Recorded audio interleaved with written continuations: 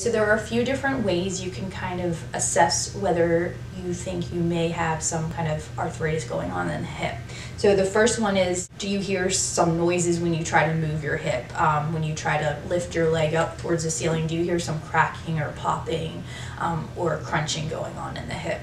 Um, also, the mobility issue. So, putting on your shoes and socks so you're not able to bring your actual leg upwards to change your shoes and socks. That becomes very painful, or and it becomes very stiff to be able to do that. Pain, you will feel it radiating into the groin area, um, usually with any movement with the leg going across the other leg or bringing that leg up into this position.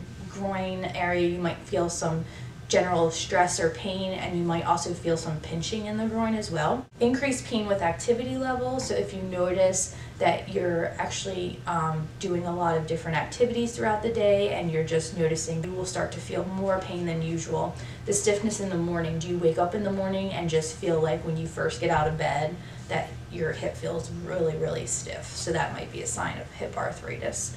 Stairs. So, going up and down the stairs. Um, bringing that leg up to the next step might pinch or cause that groin pain.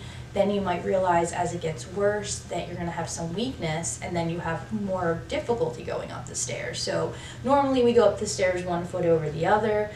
You might have such pain that you can't even do that and you start doing two feet on one step and also pulling using your arm on the handrail a lot because you don't have the strength to lift that leg up to the next step. And the other thing is getting up and down out of a chair. So most people realize that more with a sofa or a couch because it's very soft and cushiony and you sink kind of into it and you need to really lean forward and push yourself up from the chair. So that would be another good self-assessment if you're noticing you're having more and more trouble getting out of the couch. The earlier that you start to address that, the easier it is to prevent it from getting worse and stop it from having a negative effect on you. Because the last thing we want is for anybody to end up needing to have a joint replacement or a knee replacement. So again, you can prevent it from getting worse, and that's really where physical therapy comes in. We can help you to be active, we can help you to have this arthritis in your joint, but have it not affect anything. And how do we do that? We make sure the capsule is doing its job. We make sure the ligaments are able to do as much work as they can.